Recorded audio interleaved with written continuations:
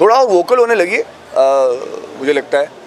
थोड़ा और बोलने लगी है थोड़ा और अपने आप के लिए स्टैंड लेने लगी है। आ, देखो यार आ, मैं जहाँ तक उसे जानता हूँ वो बहुत ही सिंपल सी लड़की है जो ज़्यादा बोलती नहीं है। तो जब बोलती है तो बहुत मज़ेदार चीज़ें बोलती है। अच्छा आज की शाम के बारे में?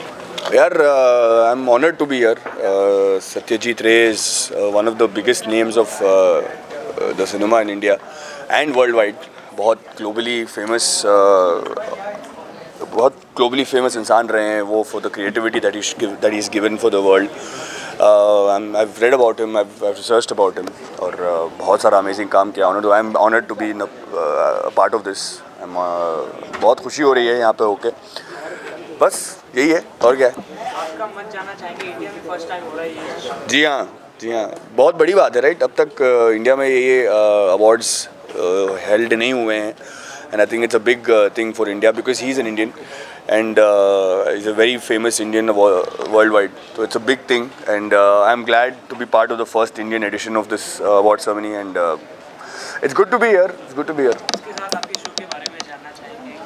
जी हाँ मेरा शो चल रहा है अभी एक कलर्स पे जिसका नाम है धर्म पत्नी। प्यार के साथ वचन धर्म पत्नी और ये एक बालाजी टेलीफिल्म का शो है। uh, मेरा कैरेक्टर बहुत ही मज़ेदार है और शो का शो का इंसायर कॉन्सेप्ट जो है बहुत ही मज़ेदार है बहुत मज़ा आ रहा है मुझे उस कैरेक्टर को प्ले करते हुए और मुझे लगता है कि ये शो बहुत अच्छा होगा in again and I am just मैं मानता हूँ कि अपने काम में ऑनेस्ट मुझे रहना है बाकी सब तो अपने आप में फैंस हैं आप लोग देखने वाले लोग हो।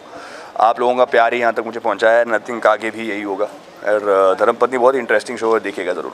काफ़ी पसंद आ रहा है लोगों को साथ ही आप बिग बॉस में भी देखे थे। जी। क्या कैसा था आपका एक्सपीरियंस उतने ही समय का। यार मुझे तो बहुत मज़ा आया। मज़ा इसलिए शायद आया क्योंकि मुझे पता था कि मैं एक दिन के लिए रहने वाला हूँ वहाँ पे।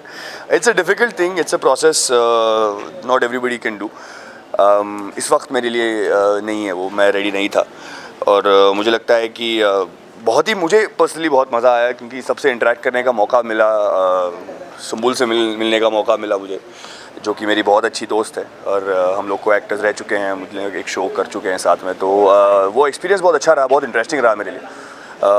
And I am glad that she is up game again which I don't think she didn't do before but she was easing into things I think अब मज़ा आ रहा है उसको देखते हुए।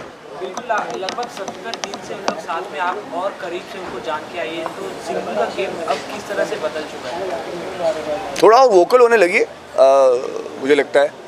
थोड़ा और बोलने लगी है थोड़ा और अपने आप के लिए स्टैंड लेने लगी है। आ, देखो यार मैं जहाँ तक उसे जानता हूँ वो बहुत ही सिंपल सी लड़की है जो ज़्यादा बोलती नहीं है। तो जब बोलती है तो बहुत मज़ेदार चीज़ें बोलती है। तो ऐसे सिचुएशन में फंस गई थी कि वो शायद निकल नहीं पाई थी उसमें बट ठीक है। टू ईच देयर ओन अब अब तक है वो वहाँ पे। कितने लोग इवेक्ट हो चुके हैं इवेक्ट हो चुके हैं पर वो है अभी भी। I think it's it's an amazing thing लोगों का दिल तो जीत ही लिया उसने। बाकी सब तो ठीक है। होता रहेगा। Thank you thank you so much guys